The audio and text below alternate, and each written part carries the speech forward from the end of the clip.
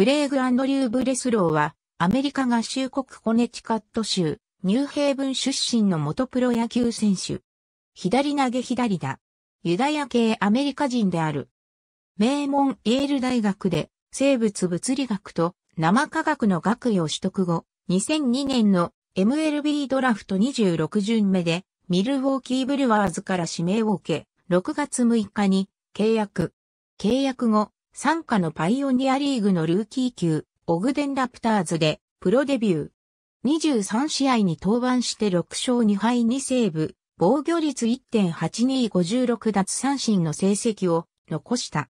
2003年は A 級ベロイトスナッパーズでプレーし、33試合に登板して3勝4敗2セーブ、防御率5.1280奪三振の成績を残した。2004年は A 級ハイデザートマーベリックスでプレーし、23試合に登板して1勝3敗、防御率7.1941奪三振と振るわず、7月6日に自由契約となった。2004年シーズン途中に自由契約となった後は、独立リーグのスイーストリーグのニュージャージージャッカルズに加入。19試合に登板して3勝1敗1セーブ、防御率4.1037奪三振の成績を残した。2005年3月3日にサンディエゴパドレスとマイナー契約を結んだ。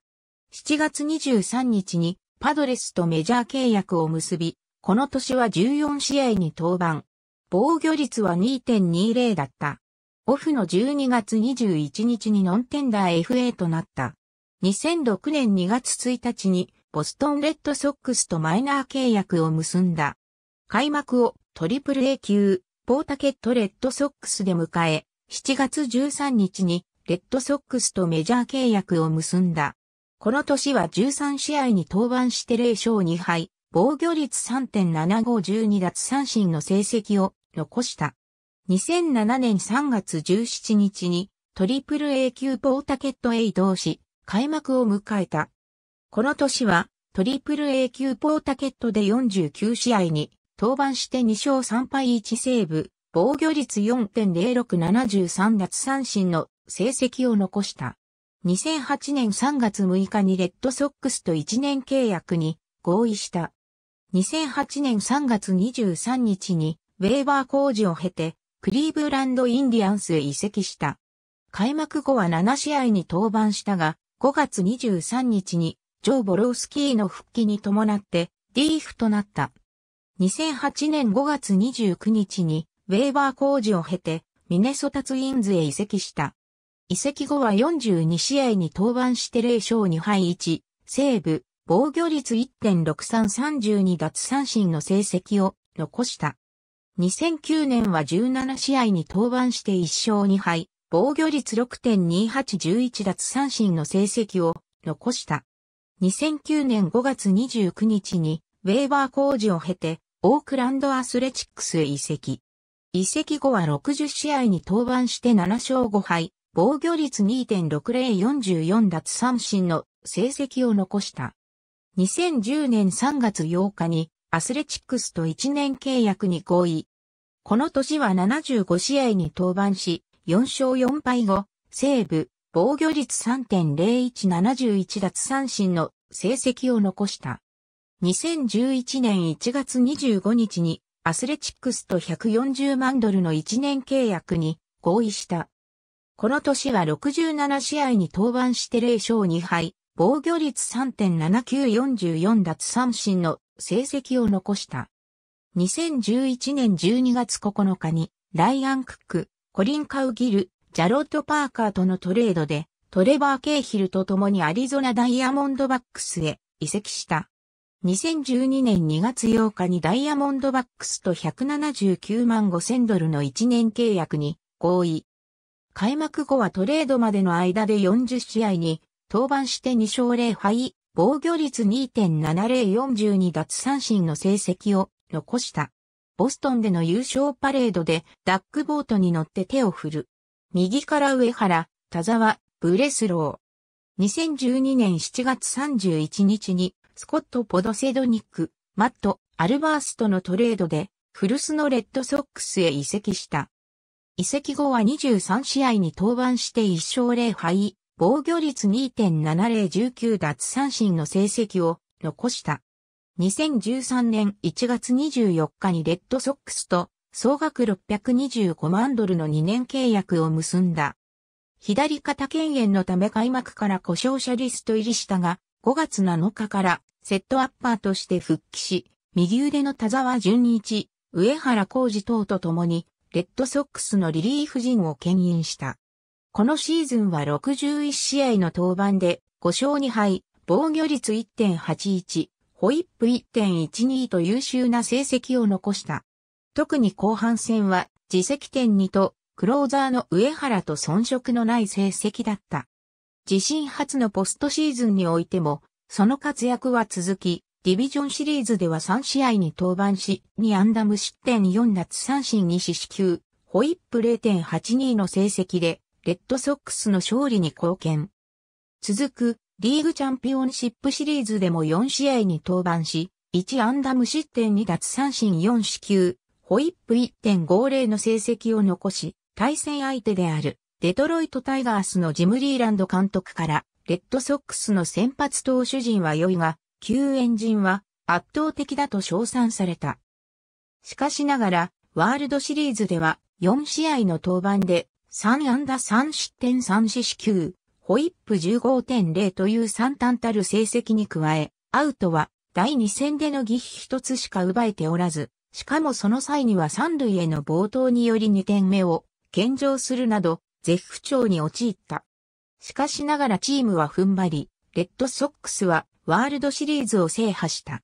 2014年3月27日に左肩の故障で15日間の故障者リスト入りした。4月3日にリハビリのためトリプル A 級ポータケットへ移動した。同月9日にメジャーへ昇格。以降リリーフとしてコンスタントに登板を重ねた。8月までは防御率4.65であったが、9月は8試合に登板して11失点、防御率22.5、ホイップ3.75と絶不調に陥った。6年連続の60試合登板を達成した一方で、終盤の不調が大きく響き、防御率5.96、ホイップ1.86はそれぞれ自己ワースト記録を更新した。オフの10月31日にレッドソックスが球団オプションを破棄したため FA となった。2015年1月6日にレッドソックスと200万ドルの1年契約で再契約した。